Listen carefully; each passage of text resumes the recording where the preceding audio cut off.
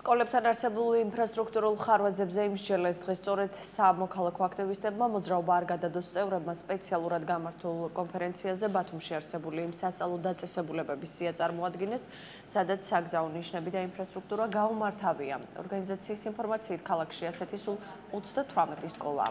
არ გადადოს ცნობით ბათუმის მერია არ ფლობს ინფორმაციას და არ არსებობს სტატისტიკა თუ რამდენი სავალალო ან სახიფათო მომენტი შეიქმნა გასული წლის განმავლობაში საგზაო ნიშნების არ არსებობის გამო.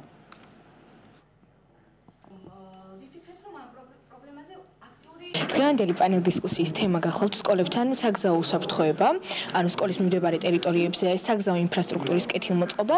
დღეს დღევანდელი პანელ დისკუსიის მიზანი გახლავთ სხვადასხვა სექტორის წარმომადგენლებმა სამთავრობო მართველი პარტიიდან, ოპოზიციური პარტიებიდან, ასევე სამოქალაქო აქტივისტების სკოლის მასწავლებლები შევიკრიბეთ, რათა ერთად ვისაუბროთ ამ პრობლემაზე და ვცადოთ მისი აღმოფხვრა.